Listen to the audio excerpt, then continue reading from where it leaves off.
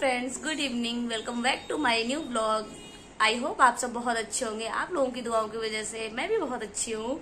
और देखो वो किचू पीछे डांस कर रहा है। ऐसे। किचू फ्रेंड्स को हेलो तो बोलो। आजा। आजा आजा आजा। आजा। हेलो बोलो हेलो तो किशु की तो मस्ती ऐसी ही चलती रहेगी। वो पूरा दिन कुछ ना कुछ कुछ ना कुछ करता ही रहता है है ना? हो। अभी किसी फनी डांस कर रहा है। कम है फनी डांस कर रहा है। फनी डांस कर रहा है। और आज है टीचर्स डे है ना? तो आज आपने स्कूल में क्या किया? मैंने गिफ्ट दे दिया मैंने गिफ्ट दे दिया। गिफ्ट दिया था टीचर को? कैसे बोला था आपने? मैंने पहले मैंने बोला था कि हैप्पी टीचर्स डे और और मैंने सेकंड बोला था दिस गिफ्ट फॉर यू ये भी बोला था I have surprise for you वो I have surprise for you अच्छा। और टीचर ने प्यार कर दिया। कैसे प्यार किया टीचर ने? ओ माय गॉड किसी टीचर आप और आपने प्यार नहीं किया टीचर को? हम्म, क्या? किया था? नहीं किया but it's okay will different okay तो मेरी ब्लॉग शाम से शुरू हो रहा है तो एक्चुअली हुआ कुछ ऐसा कि अ, मम्मी का बहुत मन था कि अ, बरसात का मौसम है तो कुछ अलग बनाया जाए कुछ अलग बनाया जाए। तो बरसात के मौसम में हमारे यूपी क्योंकि हम लोग यूपी से हैं तो हमारे यूपी में फरे खाए जाते हैं। तो वो बनाने जा रहे थे तो सोचा कि आप लोगों के साथ भी रेसिपी शेयर करते हैं। बहुत से लोगों को पता होगा कि फरे क्या होते हैं। बहुत से लोगों को नहीं भी पता होगा। तो बनाते हैं और दिखाते हैं आप सबको। तो बने रहिए इस ब्लॉग में। ऑफ़िस से। ये क्या लेके आए हो? ये चाउमीन और और रोल्स। बट फरा बनाने जा रहे हैं यार। फिर ये खाएगा कौन? बाबा जी खाएगा। पापा जी खाएँगे बेटा। नहीं अब क्या खाओगे? अब चाउमीन खाओगे कि रोल वो खाओगे फरा खाओगे? और चिप्स। बच्चे चिप्स नहीं खाते। ये टीथ दिखाओ जरा। ये ऐसे ही हो जाएँगे। जो बच्चे चिप्स और किटकैट खाते हैं ना उनके टीथ ऐसे ही हो जाते जैसे आपके हो गए हैं।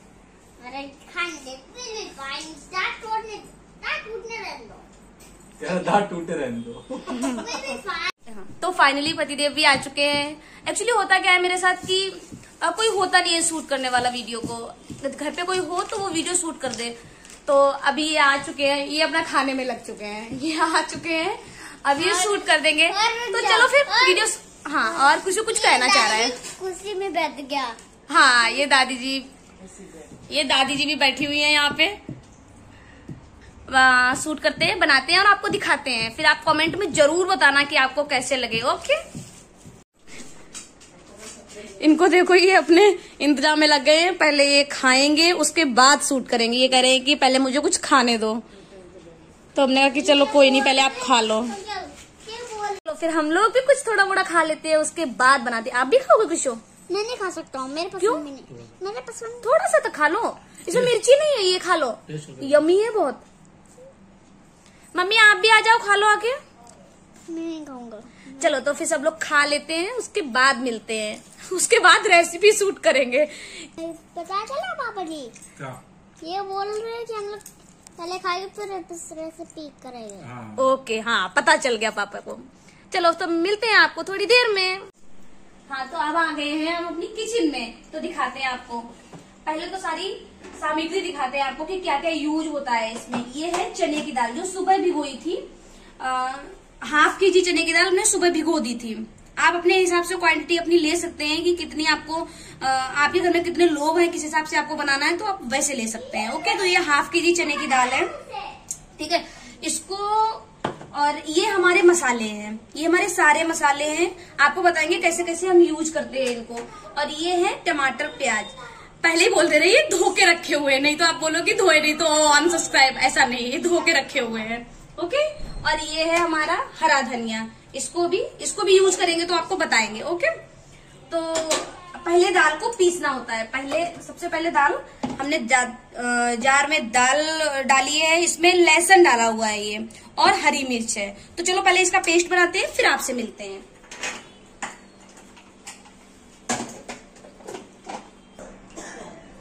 तो इसका बना के अब हमने इसको ये इसमें निकाल लिया है। बर्तन में, बड़े से बर्तन में निकालना होता है, क्योंकि ना इसमें मसाले अब मिलाएँगे। तो सबसे पहले इसमें मिलाएँगे थोड़ा सा जीरा थोड़ी सी हींग। क्योंकि हींग से ना टेस्ट भी अच्छा आता है, क्योंकि चने की दाल है तो इसमें हींग डालना बहुत ज़रूरी है। और उसके बाद फिर इसमें डालेंगे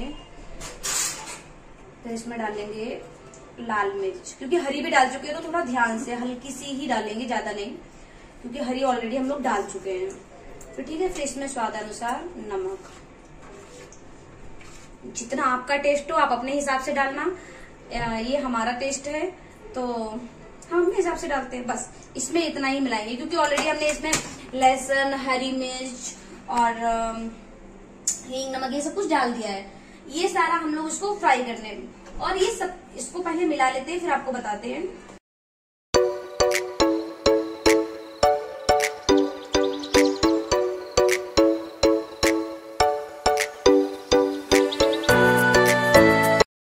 और ये आटा, ये है गेहूँ का आटा। मैदा नहीं है, गेहूँ का आटा है। इसको हमने पहले ही अच्छे से लगा के, मल के रख लिया था।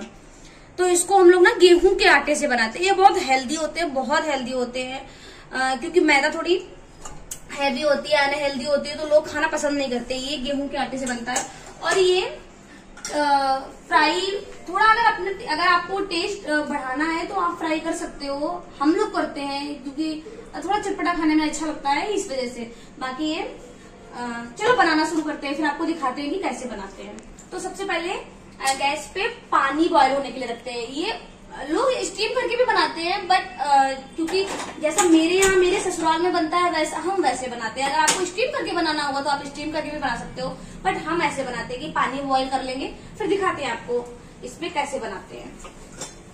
तो थोड़ा सा आटा लेते हैं। छोटा सा ज़्यादा नहीं छोटा सा आटा हमने लिया। और इसके बाद इसको बेल लेते हैं।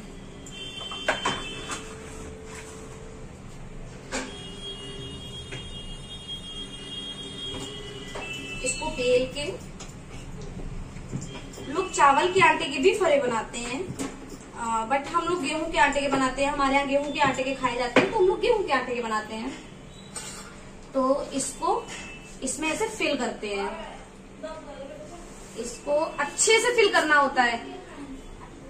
क्योंकि ना आप फिर, इसको अच्छे से जब फिल करेंगे ना तो इसको अच्छे से फिल करते हैं। क्योंकि जब ये जब ये उबल जाएगा, जब ये खाएँगे ना, फिर इसको इसका सिर्फ़ आटा आटा नहीं आना चाहिए। और हाँ आपको एक बात बताना भूल गए कि आटे में नमक डाल के इसको गूंदेंगे। अगर आप ऐसे रखोगे, फिर ये बहुत अजीब सा लगेगा, अंदर से बहुत खाली खाली लगेगा। तो इस वजह से इसको ना ऐसे ऐसे करके बंद करते हैं, देखो। इधर से दिखाओ। इसको ऐसे करके ऐसे करके हम बंद करते हैं, ऐसे करके। जैसे गुजिया बनाते हैं ना होली पे, वैसे। अच्छे से इसको बंद करके और बना के सारे रख लेते हैं।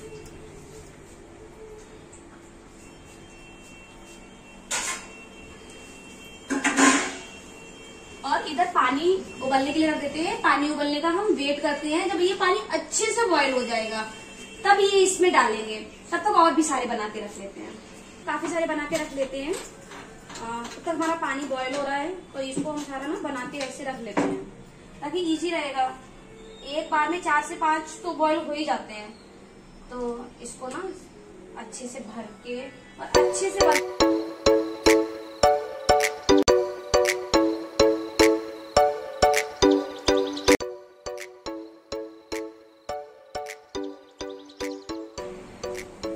खास ध्यान रखना है कि इसको बना के ज़्यादा देर पहले नहीं रखना है, क्योंकि दाल में ऑलरेडी नमक मिला हुआ है तो फिर ना दाल पानी छोड़ देगी। और अगर दाल ने पानी छोड़ दिया ना तो फिर ये बहुत गीले हो जाएँगे। फिर आप ये आपसे भी बनेंगे, खुलने लगेंगे। तो आइए तो देखो हमारा पानी बॉयल हो चुका है अच्छे से।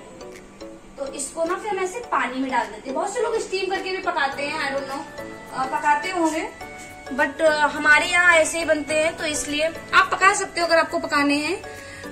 बट हमारे यहाँ ऐसे ही बनते हैं तो इसको ना अभी अच्छे से बॉयल होने देते हैं। आ, इसको कम से कम नहीं पाँच मिनट सात मिनट आपको बॉयल होने देना है। जब ये बॉयल हो जाएँगे तो ये बॉईल हो जाएँगे। आपको कैसे पता चलेगा ये बॉयल हो गए अभी ये देखो ये अच्छे से बॉयल हो चुके हैं क्योंकि ये सारे खुद से ही ऊपर आ गए हैं। अब इनको ना अच्छे से, थोड़ा केयरफुली क्योंकि ना बहुत गर्म है तो इनको ना अच्छे से ऐसे निकाल के और, ठंडे होने के लिए इनको इसमें रख देते हैं। हाँ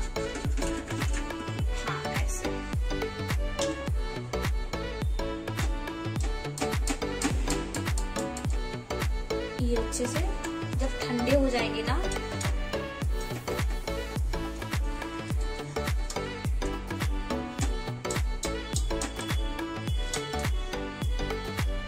गरम है अभी, अगर आप इनको कट करोगे ना तो। ये बहुत गरम है अभी। अब इनको अच्छे से ये बॉईल हो गया है। अच्छे से पानी बहुत खोलता हुआ गर्म है। आपको जैसे आप दूसरे फरे बना के अब इसमें डालेंगे और इनको ना ठंडे होने के लिए रख देंगे। जब ये अच्छे से ठंडे हो जाएँगे, फिर आपको बताते हैं कि इनका क्या करना हमारे पूरे ठंडे हो चुके हैं अच्छे से। देखो हाथों से इनको पकड़ भी पा रहे हैं अच्छे से। तो मैंने ना अलग अलग बर्तन में कर लिए थे ताकि जल्दी ठंडे हो जाए। ये दोबारा से बॉईल किए थे, ये वो वाले हैं ये, ताकि ना जल्दी से ठंडे हो जाए। तो फिर इनको ना ऐसे छोटे छोटे पार्ट में ऐसे कट करना होता है। ये देखो, इतने इतने बड़े बड़े पार्ट में। ताकि ये खाने में भी आसानी हो। ऐसे, ये आसानी से जाएगा जब ये अच्छे से बॉयल हो जाएँगे ना तो ये आसानी से देखो कट हो जाएँगे। देखो, जब हमारा फरा पका होगा तो ये ऐसा रहेगा अंदर से, देखो। अच्छे से इनको कट करके, ऐसे, सबको काट के अच्छे से।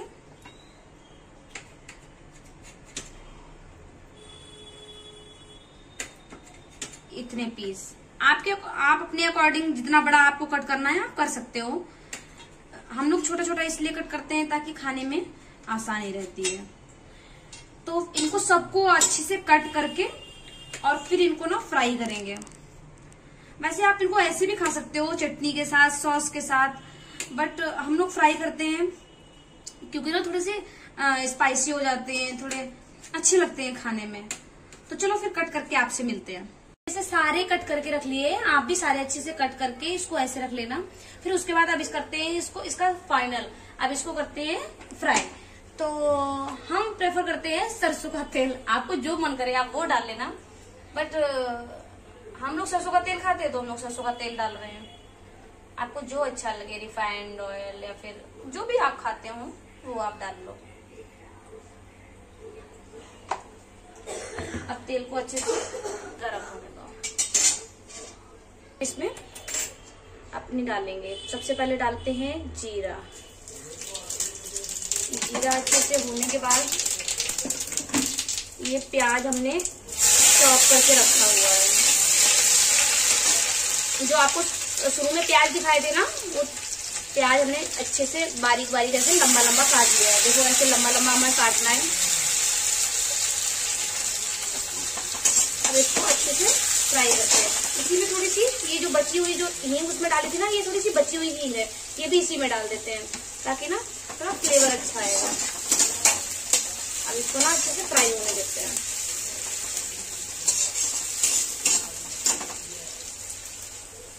तो प्याज हमारा अच्छे से फ्राई हो चुका है। अब इसमें डाल देते हैं हल्दी। मैं इसमें तेल में ही हल्दी डाल देती हूँ। आपको अगर मसाले के साथ डालनी है तो आप मसाले के साथ डाल देना।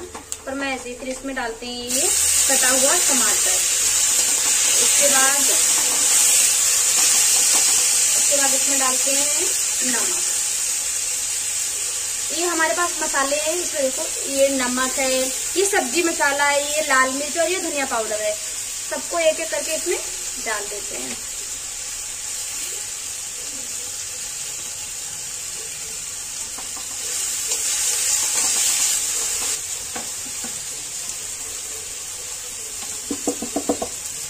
अब मसाला अच्छे से पकेगा और इसमें एक चीज़ और डालते हैं। गैस थोड़ी धीमी कर देते हैं। इसमें एक चीज़ और डालते हैं। एक पैकेट मैगी मसाला। इससे ना थोड़ा सा फ्लेवर और भी अच्छा आता है। आप कभी ट्राई करना किसी भी सब्ज़ी में थोड़ा सा मैगी मसाला अगर डालोगे ना तो उससे फ्लेवर थोड़ा सा अच्छा आता है। तो अब इसको ना अच्छे से भूनने देते हैं। जब तक हमारे टमाटर पक नहीं जाते हैं, तब तक हम इसको अच्छे से भून देते हैं।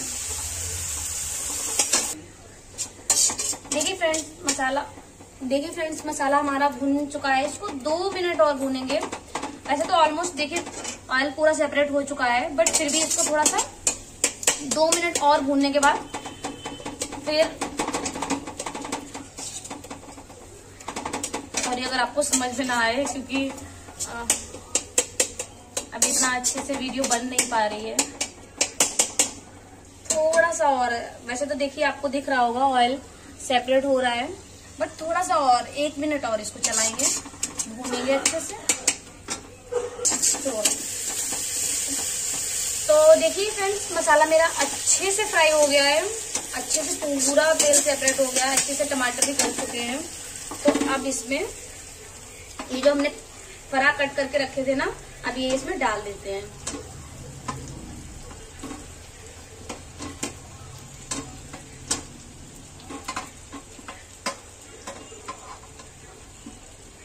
एक एक करके सारे फरा इसमें डाल देते हैं।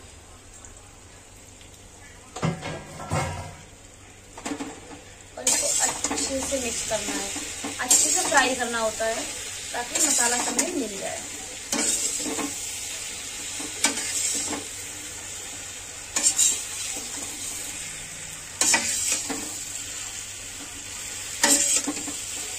अभी ऑलमोस्ट रेडी है, बस इसको दो मिनट अच्छे से फ्राई करेंगे।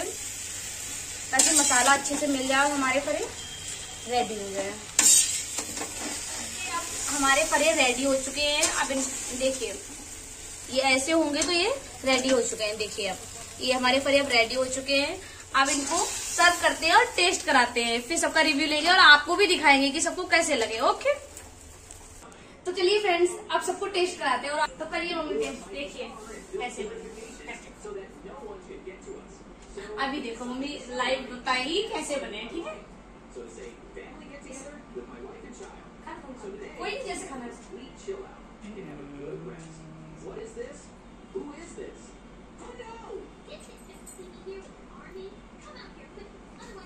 तुम भी बताओ चलो मम्मा से कैसे बने हैं? बताओ।